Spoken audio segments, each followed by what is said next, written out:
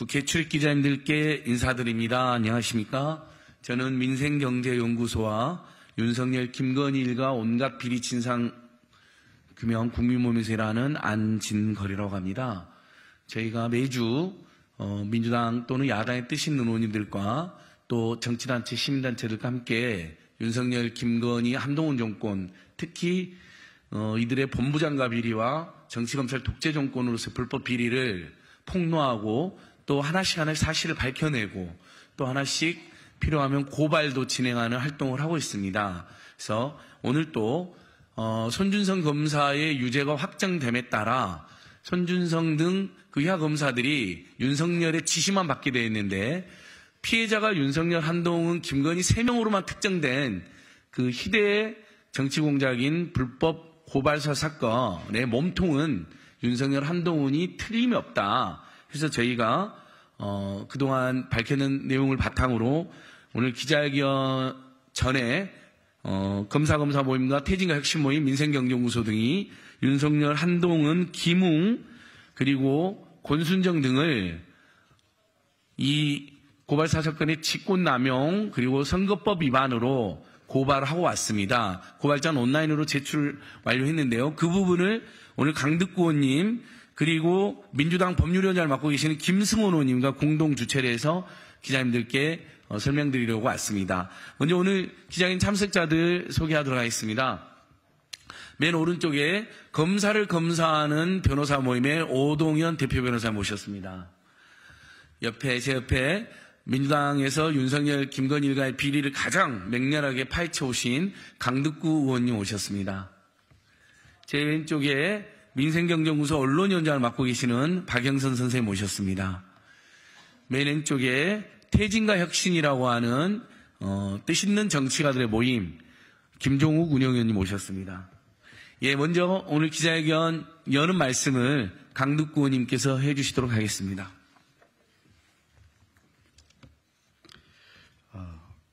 인사드리겠습니다. 더불어민주당 안양만안 출신 강덕구 의원입니다. 언론인 여러분들께서 어, 다 아시다시피 손준성 검사의 고발 사주와 관련해서 법원의 판단이 나왔습니다. 요약하면 이렇습니다. 미수 부분 처벌하지 않는 공직선거법의 한계로 선거법 위반은 무죄가 나왔습니다. 그러나 고발장이 대검 수사정보정책관실에서 작성됐다고 판단했고 그리고 손준성 검사가 김웅 의원에게 고발장을 전달했다는 사실도 동시에 인정했습니다. 그런데 고발을 사주한 고발장은 있는데 사주한 사람이 없습니다. 고발 사주를 주도한 사람이 누구인지 진실을 언제까지 감출 수 있을지 국민들은 묻습니다. 법원 판결문에 따르면 손준성 검사와 김웅 의원은 이 사안에 깊숙이 개업되어 있습니다. 그들에게 비호 세력 그리고 배후 세력이 있는지는 논란 이후에 어떻게 됐는지를 보면 알 수 있습니다. 손준성 검사는 2023년 4월 검찰이 검찰에서 무혐의로 종결됐습니다. 그리고 재판을 받는 와중에도 23년 9월 검사장급인 대구지검 차장검사로 영전했습니다.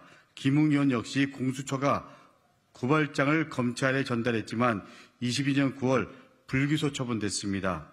오히려 당시 윤석열 캠프는 고발사주 제보자를 허위사실 유포 혐의로 고발하기도 했습니다. 우리는 당시 고발 사주의 목적이 무엇인지 집중해야 합니다. 도이치모터스 주가 조작 등이 사실이 아니라고 단정하고 당시 여권 인사와 기자가 윤석열, 김건희, 한동희, 한동훈 등의 명예를 훼손했다는 이유로 검찰에 처벌해 달라는 것입니다. 심지어 고발장을 작성한 대검 수사정책관실은 검찰총장의 지시로만 움직이는 그야말로 검찰총장의 눈과 그리고 귀가 되는 핵심 조직입니다. 이런 기관까지 활용했다는 것은 이번 사안은 대한민국 검찰을 총장과 부인의 명예회복을 위한 도구로 쓰려고 했던 그야말로 심각한 사안입니다. 이번 사안은 공수처장이 말한 대로 심각한 헌정질서 파괴와 관련된 범죄입니다. 이 정황 역시 속속 드러나고 있습니다. 최근 뉴스타파 보도에 따르면 고발 사주 시행 4일 전 윤석열과 손준성이 만났다고 합니다. 그리고 한동훈 비대위원장 등이 함께 있는 카톡 단체방 대화도 급증했다라고 합니다. 법원 판단과 언론 보도는 배후를 가리키고 있습니다. 국민들 역시 이미 알고 있을 것입니다. 공수처는 윗선이 누구인지 반드시 밝혀내야 합니다. 밝혀내십시오. 그리고 수사 결과에 따라서 검찰을 사유화하고 헌정 질서를 파괴한 당사자는 반드시 국민의 준엄한 심판을 받을 것임을 명심하시기 바랍니다. 이상입니다. 예, 강득권님 감사합니다. 저희는 강득권님 등과 함께 주가 조작 사건, 잔고절 사건, 그리고 고속도로 조작 사건도 맹렬하게 대응해 왔습니다. 그 과정에서 많은 것들을 밝혀내고 있는데요. 어, 대선 전에 윤석열 대통령은 후보 시절에 이 고발 사주 사건을 최초로 보도한 뉴스버스와 고발장을 입수해서 보도한 한겨레 신문 등을 통해서 여러 언론인들께서도 기억하시겠지만 무슨 큰 방송사도 아니고 무슨 어? 조그만 인터넷 언론사가 보도를 하냐고 괴문서라고 그러고 이게 여권의 당시 여권의 정치 공작이라고 얼마나 막 소리를 지르고 거짓말을 했는지 모르겠습니다. 하지만 밝혀진 모든 사실은 이 고발 사주 고발장은 손준성, 이몽석, 성상욱 등이 작성을 했습니다. 그 과정에서 불법적으로 개인정 보도 열람을 했고요. 직권 남용에서 의미 없는 행위들을 본인들이 했습니다. 근데 그걸 누가 시켰겠습니까? 피해자로 세 명이 적시되어 있습니다. 검은유착 사건 실제했는데 피해자가 한동훈이요. 주가조사 사건 실제했는데 피해자가 김건희고 윤석열이랍니다. 그 윤석열, 김건희, 한동훈이 시켰다고 보는 것이 매우 합리적이겠죠. 그들은 지금도 비본조차까지 못하고 또 당시 자기 부하들이 지금 유죄 선고가 됐는데 뻔뻔하게 주범이면서 입을 다물고 있습니다.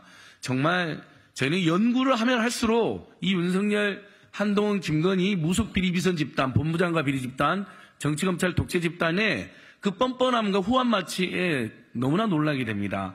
지난번 1차에서 어, 법원에서 인정된 개인정보보호법 위반과 공무상 비밀 누설은 저희가 바로 한동훈 윤석열을 공범으로 고발했습니다.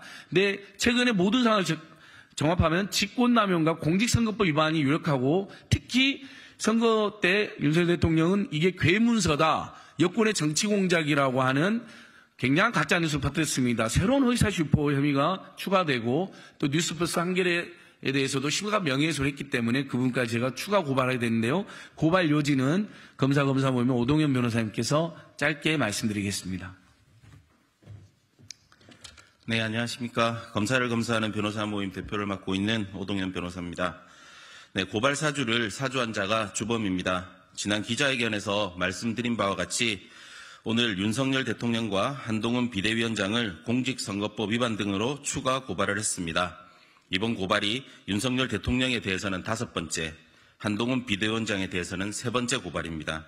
하지만 아직 검찰 및 공수처 등 수사 당국에서는 수사에 아무런 진전이 없습니다.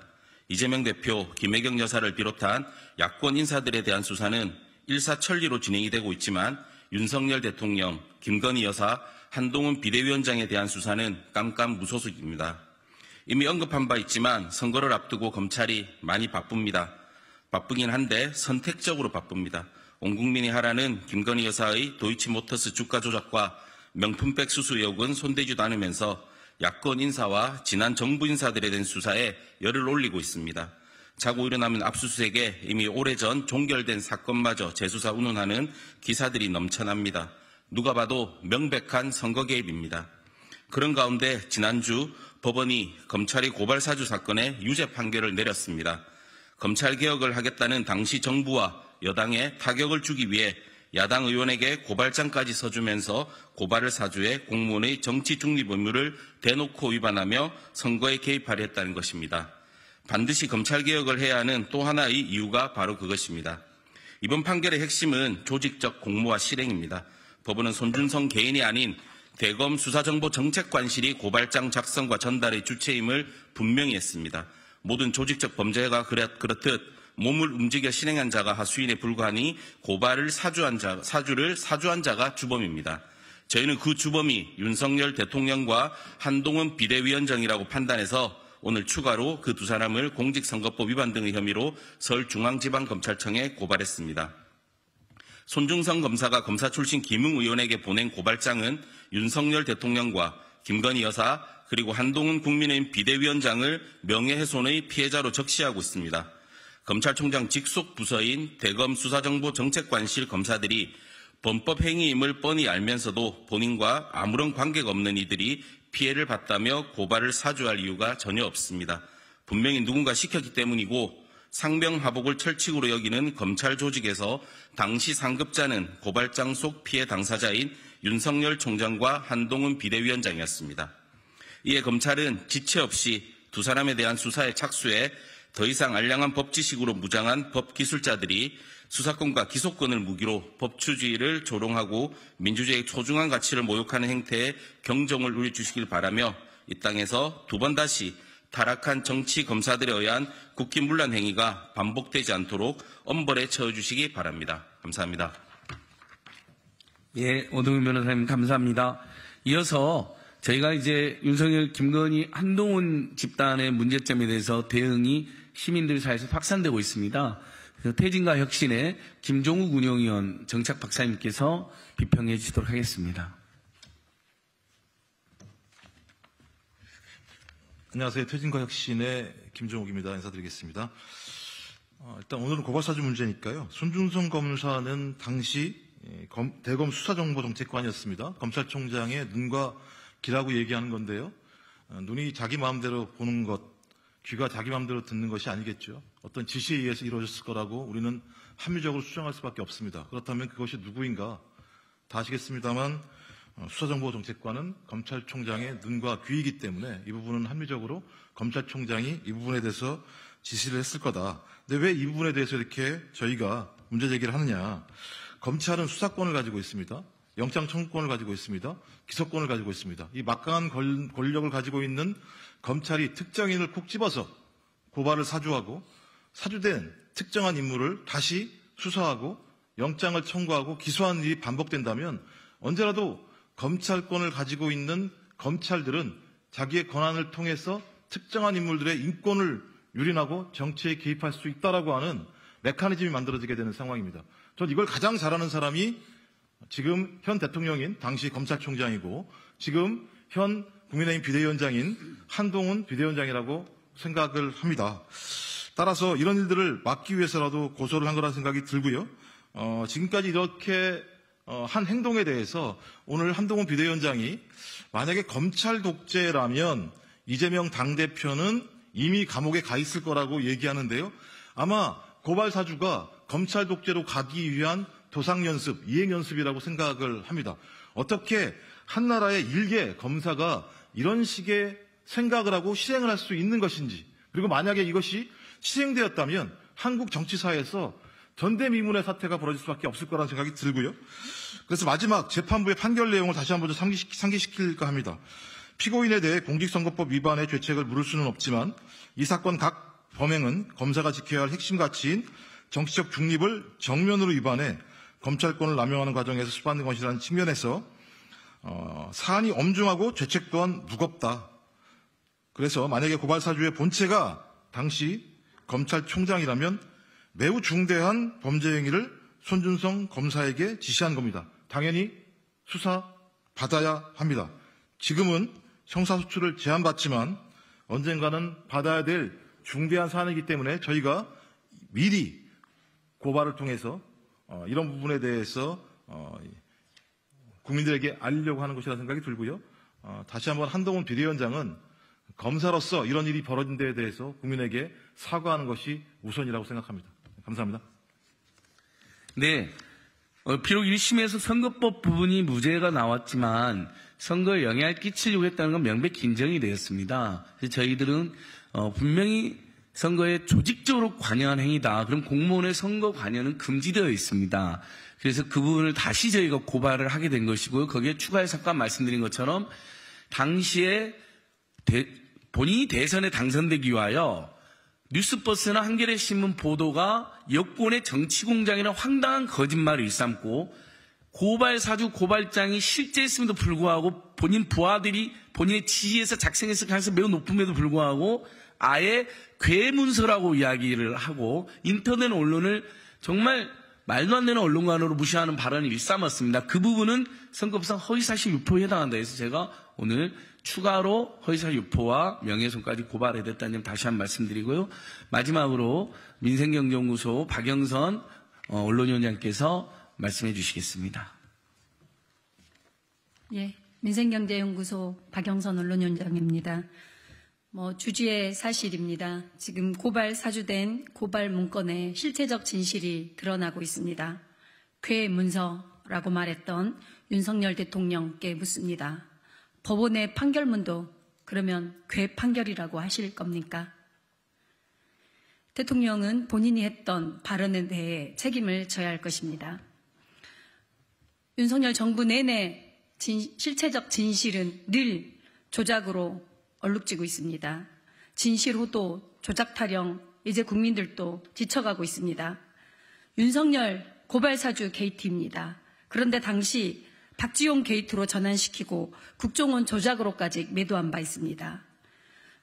윤건희, 여- 김건희 여사의 학력 조작, 논문 조작, 장고 조작, 주가 조작, 도로 조작에 이어 디올백 피해 조작에 이르렀습니다. 고발 사주 조작 분명히 검찰과 국민의힘이 내통한 사실입니다. 고발 사주의 몸통은 윤석열, 한동훈, 김건희 여사로 거의 가리키고 있고 확실해 보이고 있습니다. 공권력을 사적으로 활용하고 선거에 악용했습니다. 고발사주는 헌정유린 국기문란입니다. 손준성과 김웅의 고발사주는 내부 공익제보자가 있어서 드러났을 뿐입니다. 드러나지 않는 검찰과 국민의힘 간의 내통과 조작이 또 얼마나 있을지 우리는 예측할 수 없습니다.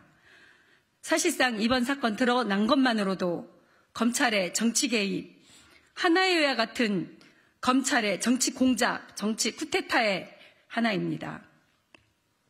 최근 이재용 무죄 선고도, 양승태 무죄 선고도, 윤석열, 한동훈의 실패입니다. 검찰의 실패입니다.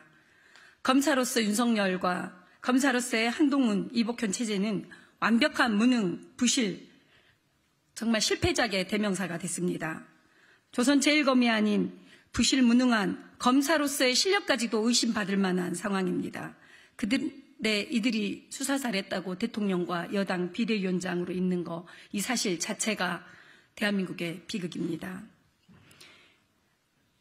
조작으로 흥해서 집권한 대통령, 조작으로 망할 것입니다. 기자 여러분, 고발사주의 몸통이 누구인지 질문해 주시기 바랍니다. 국민들은 실체적 진실에 목말라하고 있습니다. 늘 진실을 위해 함께 해 주시기 바랍니다. 감사합니다. 네, 박영선 언론위원님 감사합니다. 오늘 한동훈 비대위원장 관응 토론에 김건희 여사에 대해서는 여전히 기획자도 제대로 못 꺼냅니다. 기자님 정말 한번 물어봐 주십시오. 그 법이 법률가인데 그 법에는 김건희 주가 조작 특검법으로 써져 있습니다. 그러면 김건희 특검법이나 주가 조작 특검법이라고 다 부릅니다. 국민들도 언론인들도요. 근데 한동훈이라는 사람은 지금도 그것을 도시티 특검법이라고 이야기합니다. 국민들로부터 그게 맹비난 받으니까 아예 이제 특검법이나 김건희의 기획자는 꺼내지도 않는 지경에 달았습니다. 그래놓고 제1야당 대표를 또 음해하고 뭐 검사독장 감옥에 보냈을 거라는 망언을 일삼습니다. 자, 이 고발 사 사건을 보면 방금 여러분이 지적했던 것처럼 군부 독재 정권이 하나를 만들어 가지고 쿠데타를 저지르고 광주 시민 학살한 것에 이어서 똑같이 이 정치 검찰들이 특수회 또는 성렬회를 만들어 가지고 결국은 자신들의 정적을 죽이고 제거하고 그 과정에서 권력을 찬탈하는 그 군부 군부 쿠데타 세력과 굉장히 비슷한 양상을 보이는 걸 알 수 있습니다. 그리고 그건 아직도 해체되어 있지 않습니다. 지금도 편파 수사와 조작 수사를 일삼는 것만도 저희들은 그것을 알 수가 있습니다. 그래서 저희는 이 지금까지 드러난 이 불법 고발 사주 사건만으로도 정치검찰은 해체돼야 되고 그다음에 하나이나 성렬에 속해 성렬이나 특수에 속해서 이런 조작을 저질렀던 자들 모두 속고되지 엄벌을 받아야 된다고 생각합니다. 제가 마지막까지 끝까지 제대로 대응해 가겠습니다. 오늘 저희들 강득권님, 김승호님께서 기자회견 개최해주셔서 감사드리고요. 저희들 이야기 들어주셔서 고맙습니다. 그럼 이 공식 기자회견을 마치겠습니다. 감사합니다.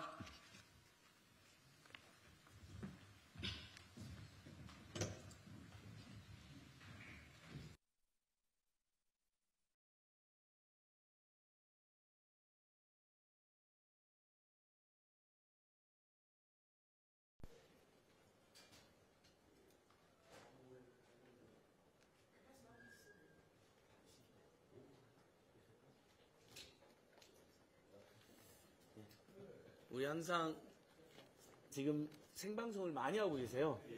어, 오마이 TV 또 서울의 소리, 안진걸 TV, 우리 박영선 TV도 하나 모르겠네요. 예.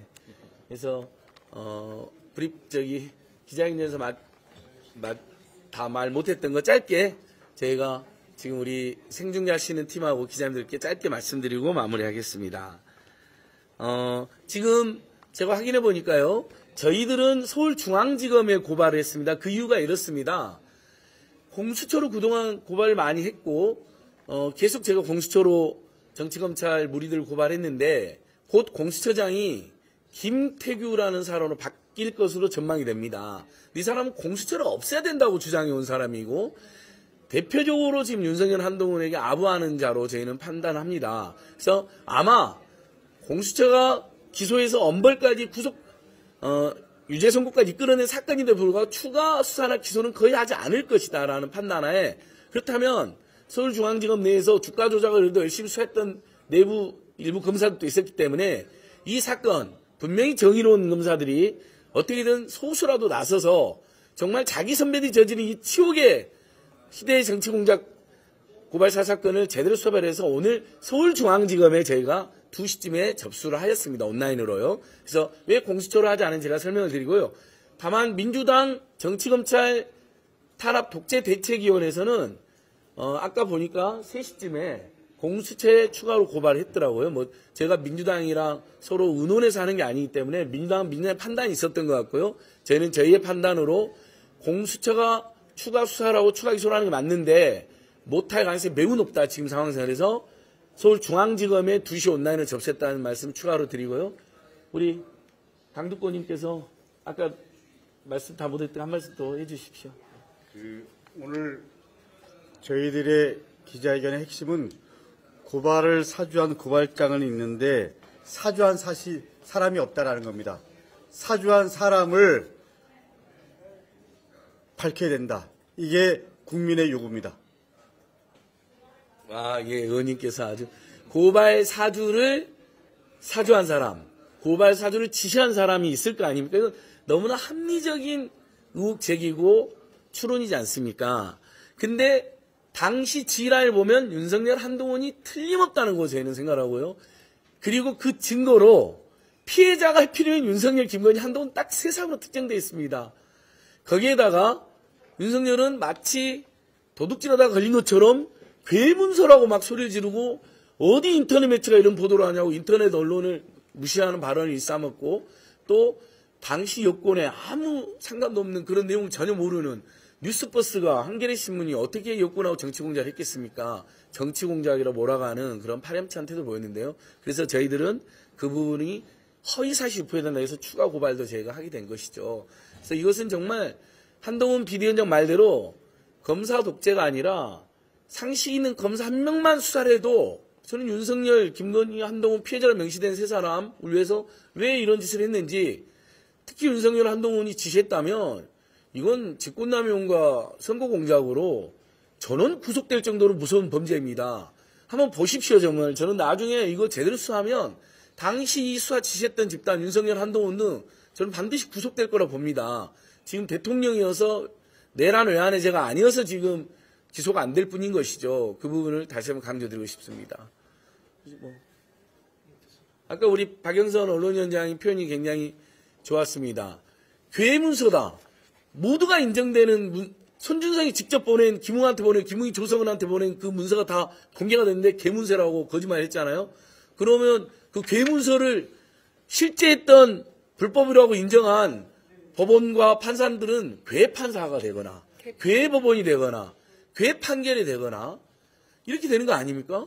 그러니까 그거에 대해서 윤석열이 입장을 밝혀라는 것입니다. 본인이 그렇게까지 큰 소리 치고 전체 인터넷 언론사를 모욕하고 모독하고 그리고 괴문선이 정치공장이니 그렇게 떠들어 놓고 그리고 고발까지 하고 당시에 그래놓고는 지금 아무 말도 하지 않는 이런 태도들 윤석열이든 한동훈이든 정말 비겁하다 비열하다 저희는 이렇게 비평합니다. 그러면 예, 예 그러면 저희 여기까지 말씀드리고요. 혹시 이제 기자님들 추가로 물어보는 게 있으면 개별적으로 답하도록 하겠습니다. 예, 지금까지 취재해 주시고 또 생중계해 주신 우리 오마이뉴스 TV, 서울의 소리, 안진걸 TV 등에 깊이 감사드립니다. 고맙습니다.